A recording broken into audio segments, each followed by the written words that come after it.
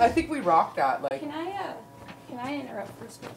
I actually wanted to ask something, uh, mostly for myself, but also for the back end. How do you spell your name? That's a good question. So, do you, so if we misspell it, you just don't care then, maybe? I find it so funny when people misspell my name. It's like a great comedic joy for me. So like, please do.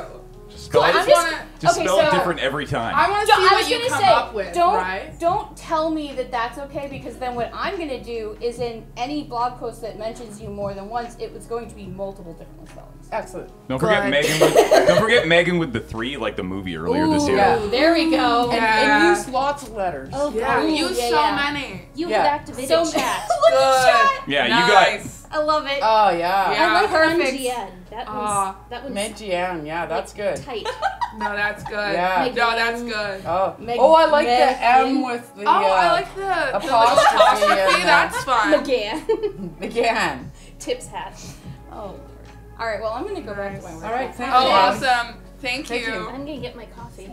Are you? You need more coffee? What's wrong with you? Sorry. Are you kidding me? Are you kidding me?